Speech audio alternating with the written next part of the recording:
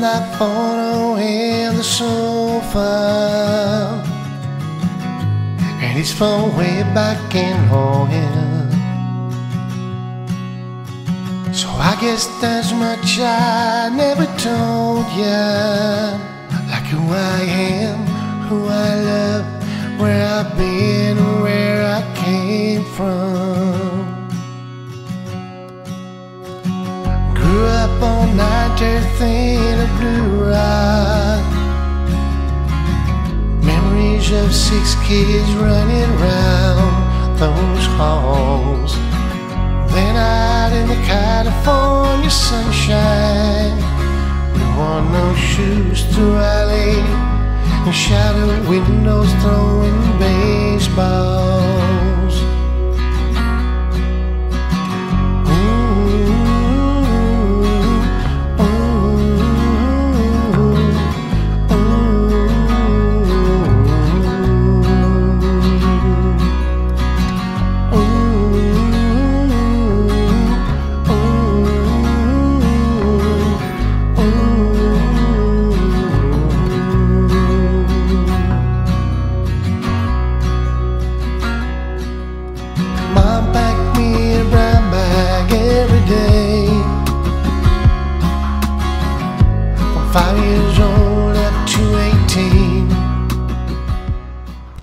Die spinnen die Schweizer, aber das war auch schon der aufregendste Teil des ersten Reisetags. Pins on my fresh cookies. And I quit playing ball at age 15. Traded my new bad for an old guitar. Sehr empfehlen kann ich in jedem Fall den Landgasthof Schäfle in St. Peterzell. Ein schönes, einfaches Hotel mit hervorragender Küche und sehr, sehr netten Betreibern.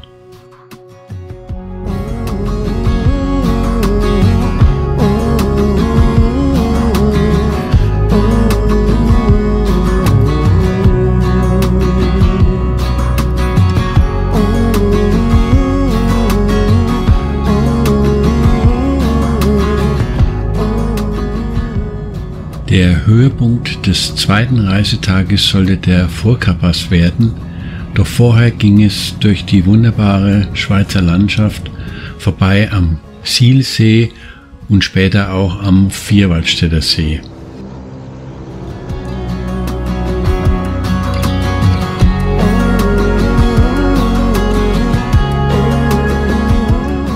Ja, und natürlich muss dann auch mal getankt werden, aber in der Zwischenzeit waren die Selbstbedienungstankstellen in der Schweiz und später auch in Italien oder in Frankreich kein Problem mehr.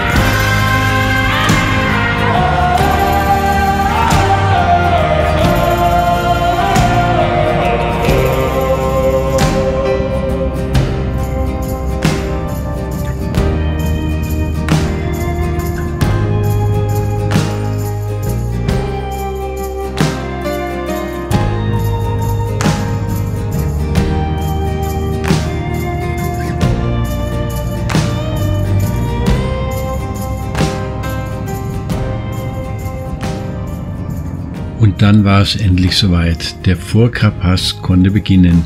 Eine Strecke, die auch schon James Bond gefahren ist. Dem einen oder anderen, vor allem Älteren unter uns, ist sicher der Film Goldfinger noch ein Begriff.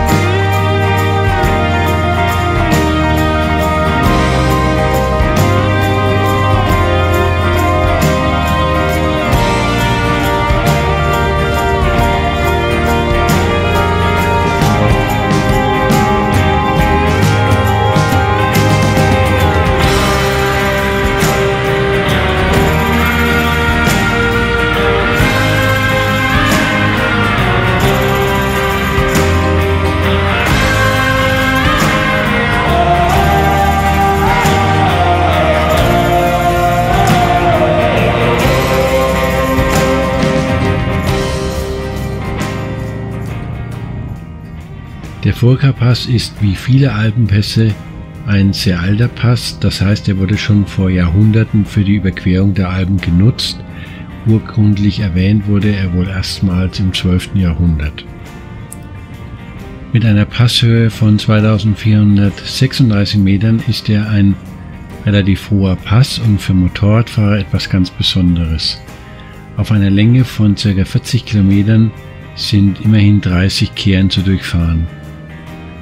Und neben der fahrerisch schönen Strecke ist natürlich auch die Landschaft zu erwähnen. Eine einfach einmalige Landschaft.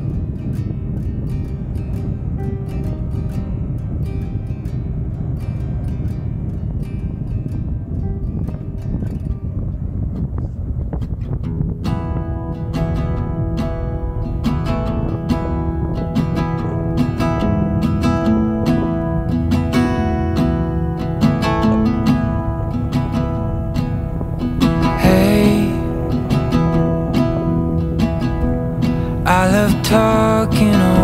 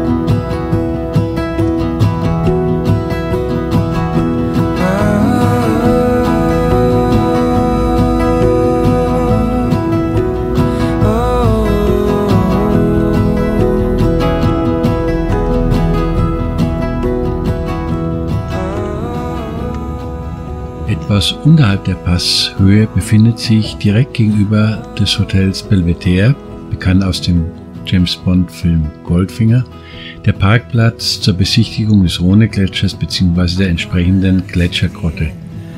Leider hatte ich keine Zeit, um mir diese Grotte anzuschauen, das nächste Mal aber unbedingt. Yeah,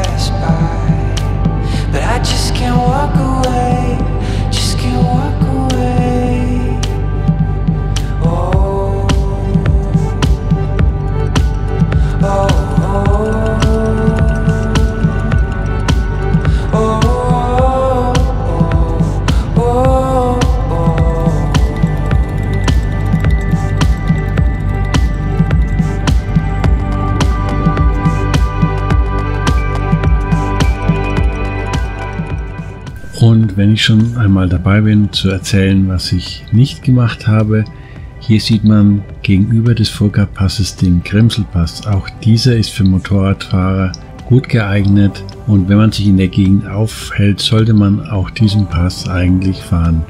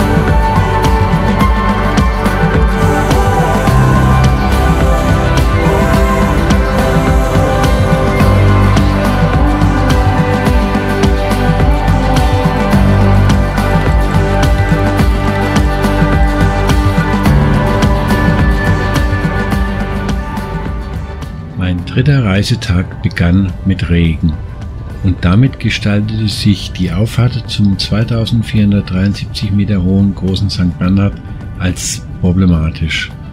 Die Sicht war zwar okay, aber der Asphalt doch teilweise rutschig. Oben angekommen machte ich erst einmal eine Stunde Pause, um das Ende des Regens abzuwarten und ich trank einen Kaffee, um mich aufzuwärmen.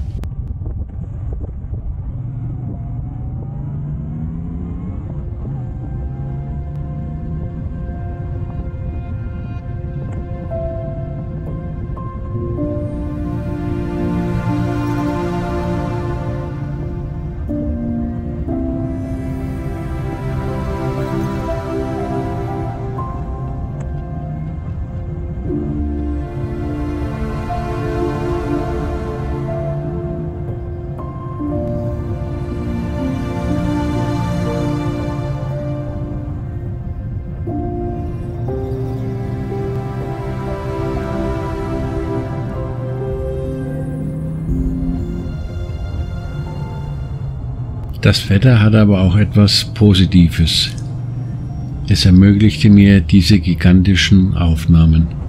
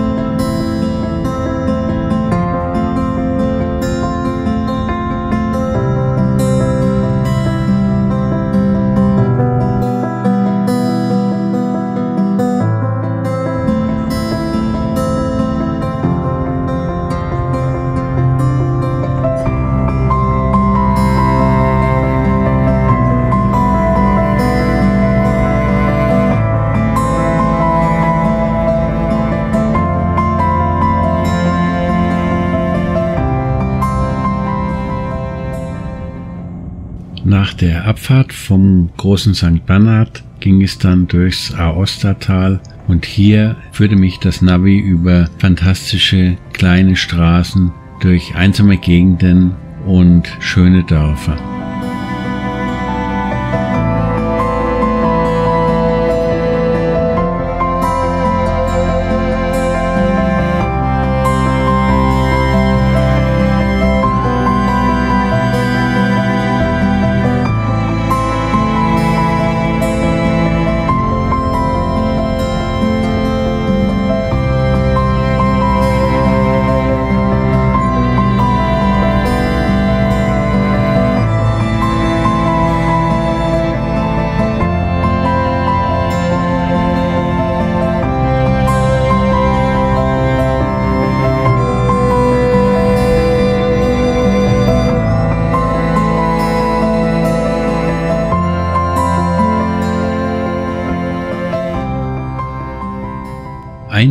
Highlight der Fahrt durchs Aostatal war auch dieser Pass ohne Namen.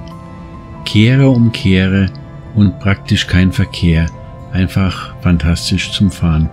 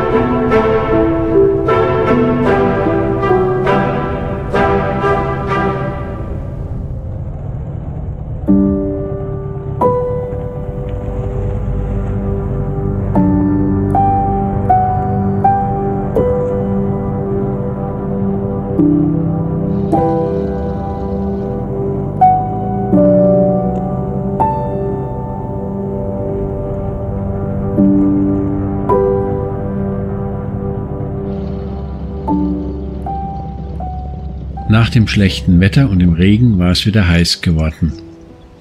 Eine Pause war nötig, vor allem war es nötig, etwas zu trinken.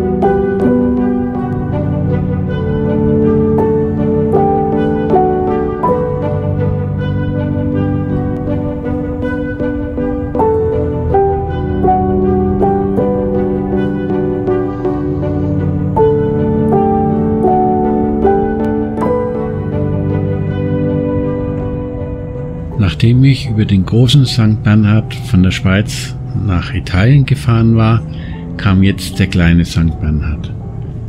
Hier geht es von Italien nach Frankreich.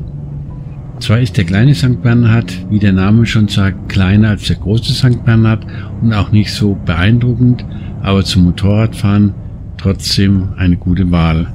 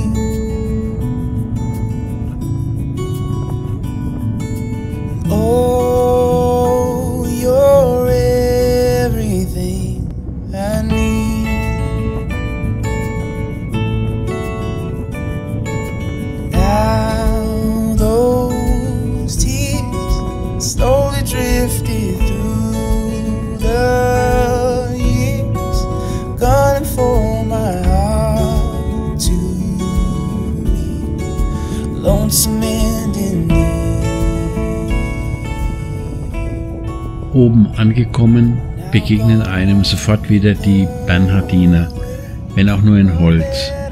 Dabei muss man allerdings dazu sagen, dass eigentlich die Bernhardiner ja ihren Ursprung auf dem großen St. Bernhard haben und nicht auf dem kleinen St. Bernhard. Aber egal. Hauptsache es hilft dabei, den Tourismus anzukurbeln.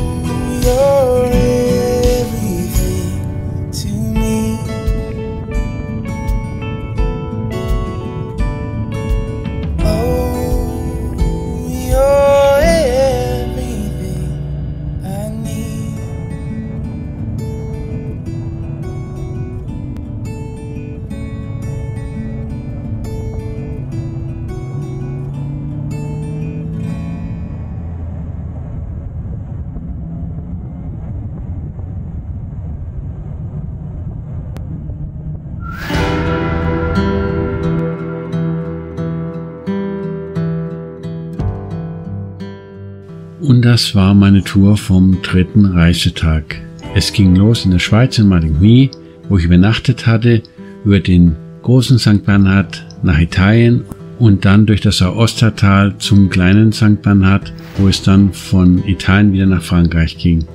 Schließlich war der Endpunkt Bourg Saint-Maurice, wo ich das erste Mal in Frankreich übernachtete.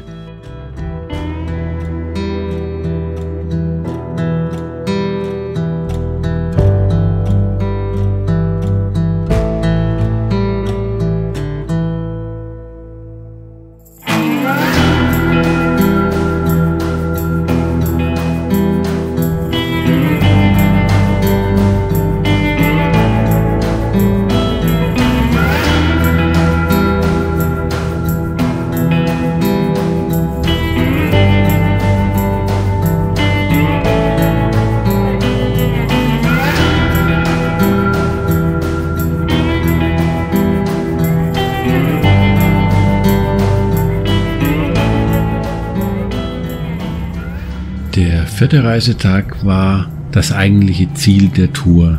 Es waren die großen Pässe in Frankreich. Und so ging es über den Col de la Madeleine, den Col du Galibier, und zum Abschluss über den Col d'Isoire.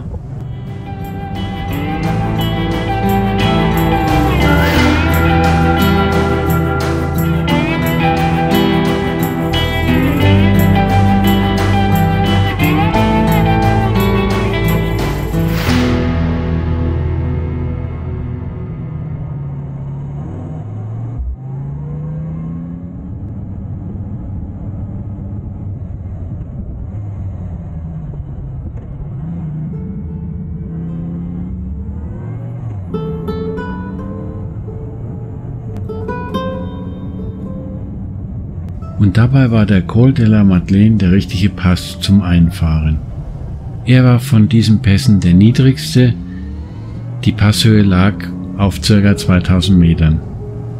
Daher war der Pass im oberen Bereich auch nicht so spektakulär, wie es später der Galibier war oder auch der Tisserand, aber war wunderschön zu fahren. Hinzu kam das hervorragende Wetter.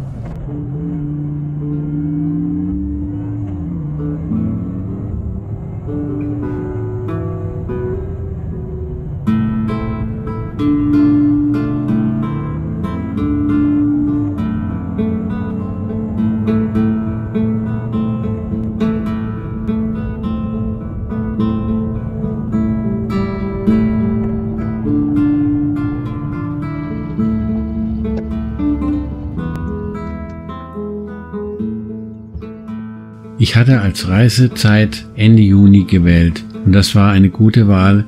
Wie man sieht, wenig los, man hat den Pass fast für sich alleine.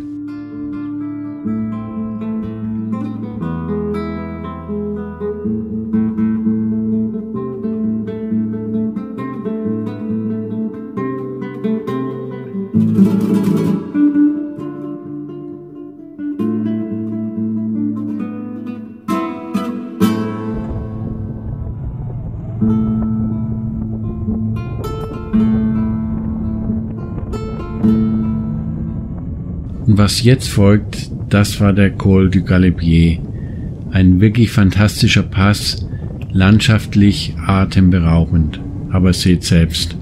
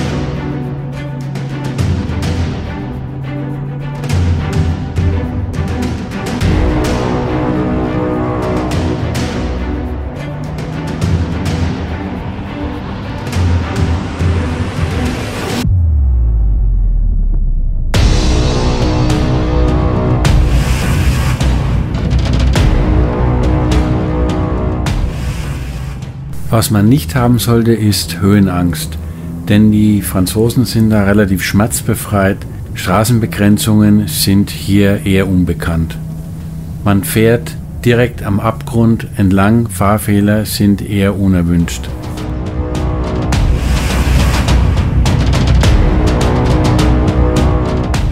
Mit 2642 Metern ist der Col du Galibier der fünfhöchste asphaltierte Straßenpass in den Alpen.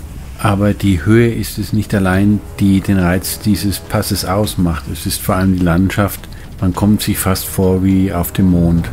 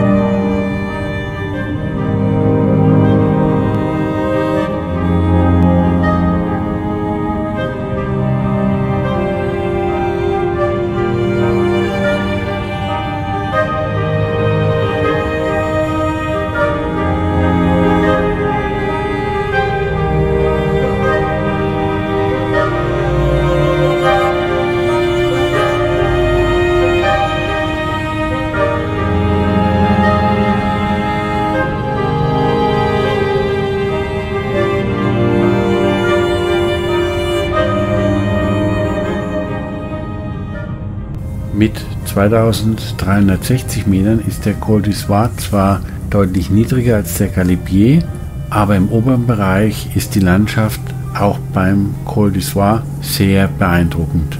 Und wieder einmal hatte ich das Glück, dass kaum Verkehr war.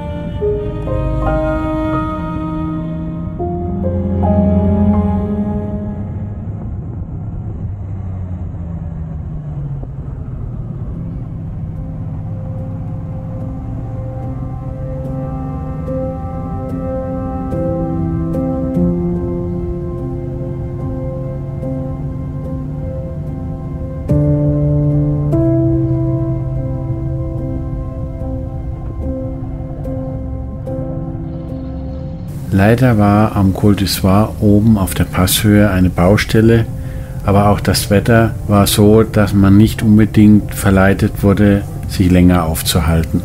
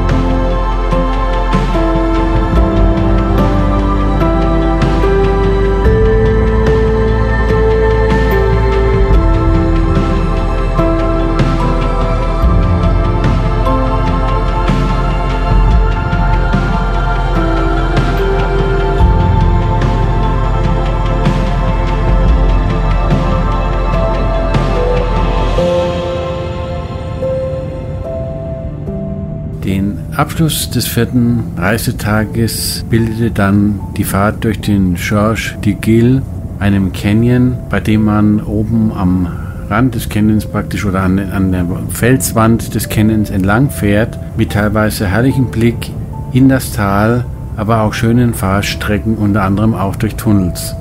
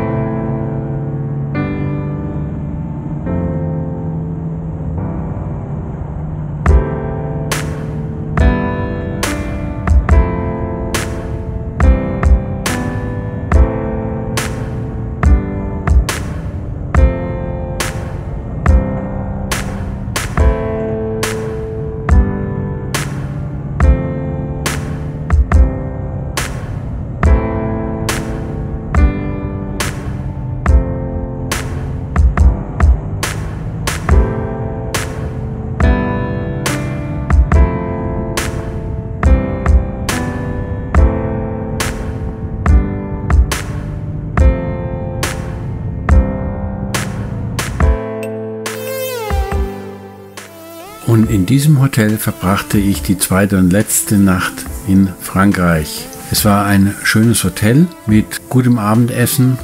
Ich hatte hier die Gelegenheit, das erste Mal in meinem Leben thailändisch zu essen.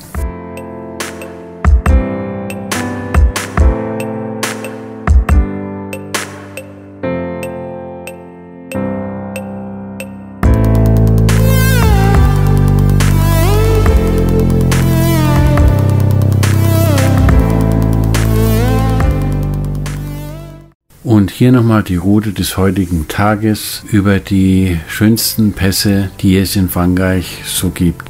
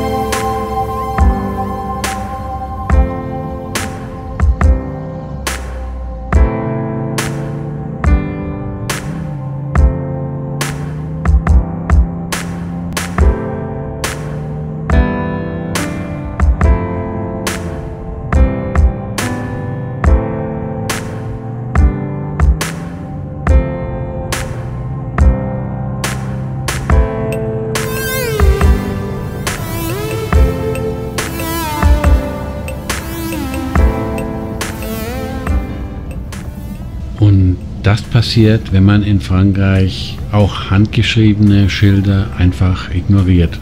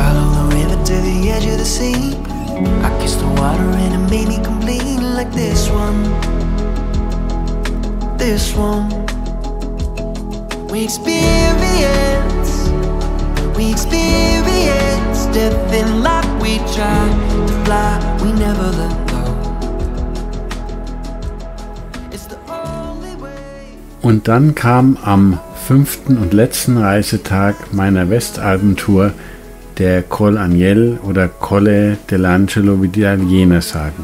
Für mich war dieser Pass fast der schönste der ganzen Tour.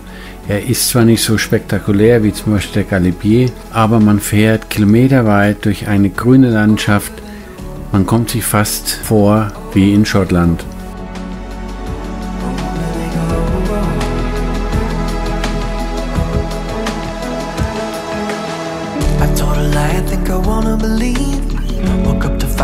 Was stuck in a dream like this one.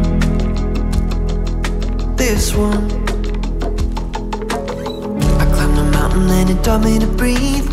I saw my life be on the top of a tree like this one. This one. We experience. We experience.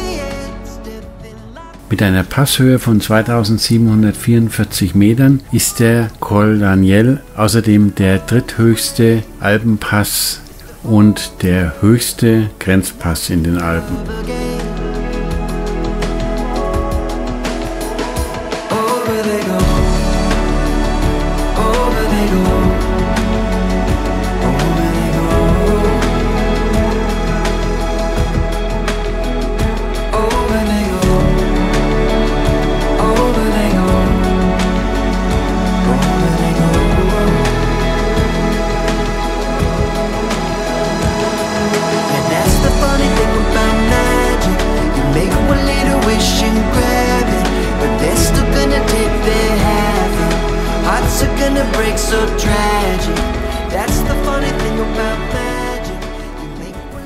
Abwärts geht es dann auf der italienischen Seite des Passes. Die Landschaft ist hier genauso schön wie auf der französischen Seite. Für die Sicherheit der Fahrer wird hier allerdings mehr getan. Es gibt doch zumindest ab und zu Sicherungen am Straßenrand. Und schaut euch dieses herrliche Wetter an. Der Wetterbericht hatte für diesen Tag 4 Grad und Regen gemeldet.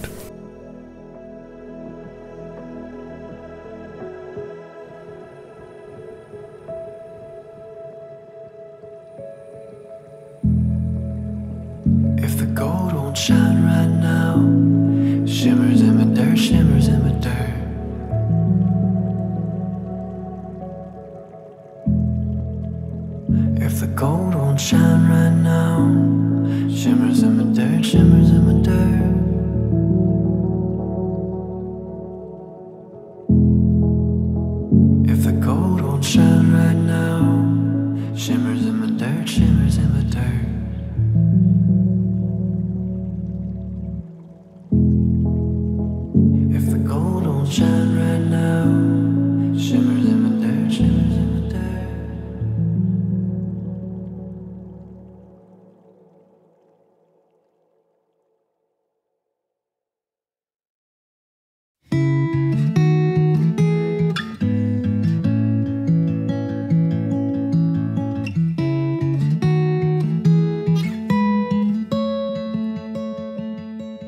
Und am Nachmittag bin ich dann in Ligurien angekommen.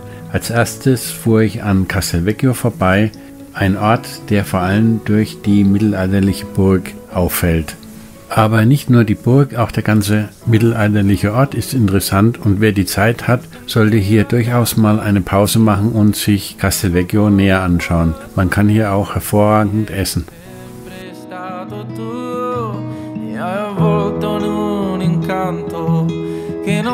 Lasciato mai.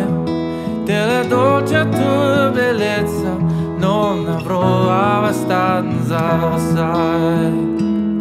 Oh bella se mi aspetterai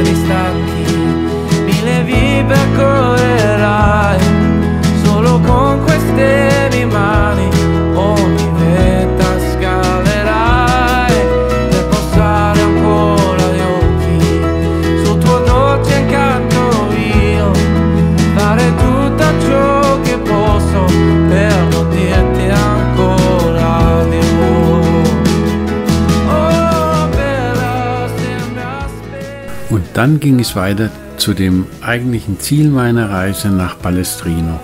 Oft genug bin ich diese Strecke schon gefahren, aber immer mit dem Auto.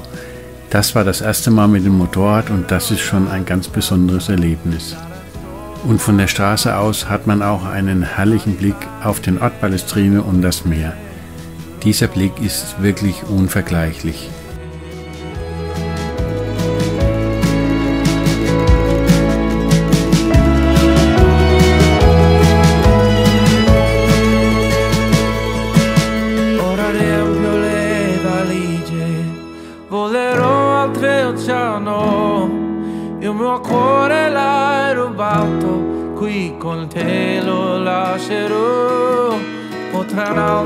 Posto al mondo, incantarmi come fai.